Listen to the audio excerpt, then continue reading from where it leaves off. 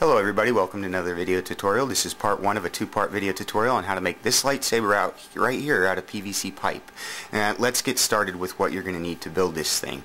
You will need a Dremel um, to cut through the PVC pipe and whatnot and you're going to need these like little cut-off wheels and drill bits for the Dremel. A grinder works really good uh, for the piping as well. You're going to need a heating gun, not a blow dryer but a heating gun, a saw to cut through the big pieces of pipe, and uh, various grades of sandpaper, super glue, definitely gloves and goggles, uh, measuring tape or a ruler, marking pens and scissors and a piece of paper. And these are the three pipes you're going to need. You see their measurements right there. And uh, Reflectix tape works good to give it a metallic shine. Uh, flat black latex paint if you want to distress it afterwards and these two little things of paint which is Testors Model Air Paint Paint Gold and Gloss Black. Uh, body filler Bondo uh, works good to fill in some cracks. So let's get started. We're going to start with the centerpiece, the medium size, and we're going to take the smaller PVC pipe and we're going to stick that into the centerpiece and you could see how they're going to be layered. And what we're going to do is we're going to use the centerpiece, which is the one inch PVC pipe, as our primary hilt uh, of the saber. And what we're going to do, what I'm doing here is just kind of making my designs because uh, of what, just kind of making my designs for where I'm going to put the O-rings and, and uh, the outside edges. What you do here, you take a piece of paper. Why you take a piece of paper is because it's easier when you do it this way. You wrap it around the tubing and you could actually get a pretty straight line. It's hard to get good cylindrical cuts without some kind of guide rail paper works pretty good to use as a guide rail as you can see what I'm doing there. This is still the one inch piece. And what we're going to do is we're going to put the three quarter inch piece the small piece uh, inside of that but we're going to do that later. What I'm doing here on the medium piece is um, measuring for the strips that I'm going to put on top of that which you'll see further up in the video tutorial as we progress. Um, this is now the large piece which is I'm going to use to make the O-rings and you can see there those are the little strips that I'm going to put on top but first we got to cut it. So go ahead do this. You could also cut this with the with a Dremel or a grinder but I just used a saw because it was quicker. Uh, please find a better technique than putting it on a carpet with two little pieces of wood. You use a grinder really good because it gets it allows you to get that really good edge. It's kind of like a belt sander almost. The problem with this is the PVC pipes I got at Home Depot and Dixieline, they do not fit perfectly together in couples. So what I have to do is I have to actually do not cut like this towards your thumb, but you could see I cut it and I'm able to cut just a little gap on the outside edge.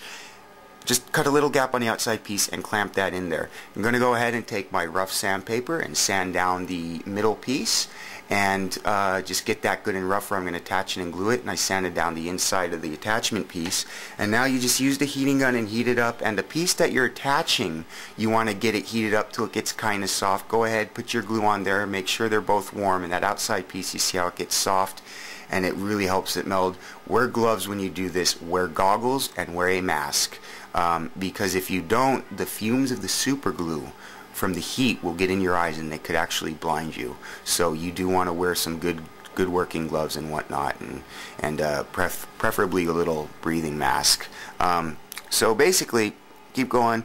These are my little strips now that I'm going to put on top and I'm just taking them up to the grinder and grinding them down and, and it's kind of kind of visually explanatory uh, just getting them down to my consistency please be very very careful when you do this if you're don't let a kid do this unsupervised. Uh, you got to really kind of. This is dangerous. Um, there's no other way to say it. It's it's dangerous to do this kind of stuff. But uh, so there's my four strips. I'm going to place all four of those strips on there like so. And uh, that's kind of how they're going to go on and attached. And that's why I did that little cross section at the bottom of the hilt. So you could see that. And go ahead and, and use a really rough sandpaper on the bottom of that and then go ahead and use a rough sandpaper for where I'm going to attach it. Again, I'm going to heat up the PVC piping right here just to get it kind of warm and the strip that I'm attaching I'm going to heat that up to where it actually gets soft and you don't want to hold it on there too long with the heating gun because it will burn it. Now that just applies right there add the glue. What you also do with this is you could add glue around the edges of this to really give it a better coat and a better seal and you just re you know I'm just repeat that step. Um, with all these other little pieces and this is the bottom of my lightsaber handle. Um, you see how it's nice and soft. You don't want the piece that you're attaching it to to be soft. Just the pieces you're attaching to be soft. Um, so it keeps its shape. Uh, so that's pretty much the bottom. Now what I'm going to do is take my ruler and start doing more measurements, figure out where I want my next O-ring. Uh, let's just move it up a little bit more and um, I'm going to go back to the large pipe, the one and a quarter, put that on there and uh, decide I'm probably just going to make this maybe an inch or half of an inch. And again, go back to the paper, use that as a guideline for where the O-ring is going to uh, stop. So that's pretty much it. Um, go ahead, this is the uh, larger piece there that I'm cutting with the Dremel just to get rid of the excess uh, and then I grind it down on the grinder. You got to be very careful with this. Wear cut-proof gloves if poss possible, um, so you don't get hurt. But yeah, you know, pretty much do that. You sand down the inside of that. You sand, I mean, it's pretty much the same steps. Again, you see how the problem is, how it doesn't fit perfectly. I have to actually grind with the cutoff wheel just a little bit of gap so I could actually clamp it in there. And just like that, that's enough to tighten it up. Now what we're going to do is sand this down and, and sand, sand down the other piece. Now we're going to heat it up with the heating gun um, and attach it, glue it on there, heat it up again just to seal the outside coat. What I'm doing here is I'm taking this piece of paper. You'll see what I'm doing in a second. But the reason I'm doing this is um, because the inner PVC pipe is go. It's it's it's basically a three-layered lightsaber hilt. And what I want to do here is similar to what Qui-Gon had in episode 1 where the inside of his lightsaber was kind of cut open and, and you'll see here you this is just kind of like I said visual so much of this is visually explanatory um, just cut this out and what I'm going to do with this is use this as a tracer so I could cut out a piece of the the lightsaber so you could see the inner tube um, which we could you'll see as we progress and go along. Um, you know, you just want to cut along those lines, get in those edges, um, and you see how I'm cutting it like this. What I'm going to do now after I punch this out is take a grinder wheel on the Dremel. As you can see, I'm swapping it out there, and I'm going to smooth out the inside of that, as you can see what I'm doing here, and really get into that shape to give it that nice roundness uh, that, that it needs. And um, then I'm going to go ahead again with the rough sandpaper and uh, start sanding that stuff down too.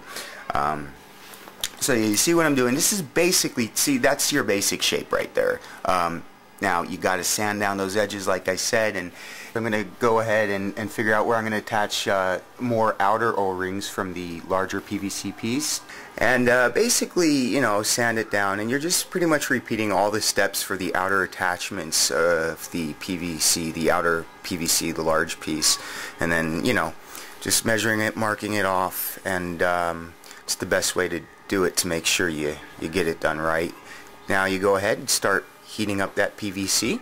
You know, repeat the same steps, same process. Uh, heat and you know, same same steps. You could see how the the outer O-ring is kind of soft right there from the heat. That's the consistency you kind of want it when you're attaching it. Um, but not the inner piece, just the outer piece. And go ahead and glue that around the edges and add some heat to that to, to seal that up. So what I'm going to do now is I'm going to mark off where I'm going to just make my cut to uh, cut down this piece. Use the grinder to smooth out that end so it has a nice smooth end to it and it's uh, level. And now I'm going to take the small piece and insert it in a large piece and there's the problem I'm telling you about folks. It doesn't go in too smooth. So what I have to do is I have to take the Dremel and a grinding uh, a cutoff wheel and uh, just take it down the strip with a cutoff wheel and uh, make it just just a few centimeters is all it's off. And uh, just enough to get that to clamp together and then it will slide right inside nice and smooth. And what you're going to do when that slides inside is you're going to hide that seam by putting it on the underside. As you can see what I'm doing there get the rough sandpaper and uh, sand the inside of that saber and then you go ahead and heat it up and uh, go ahead and, and add a bunch of glue on the inside of that and then you attach it put it in there really quick and be careful because it will dry pretty quick when you do this process. And now that crack is sealed in the back and now you have the basic kind of shape of your lightsaber. Thanks for watching part one. Please uh, tune in to part two for the rest of this video tutorial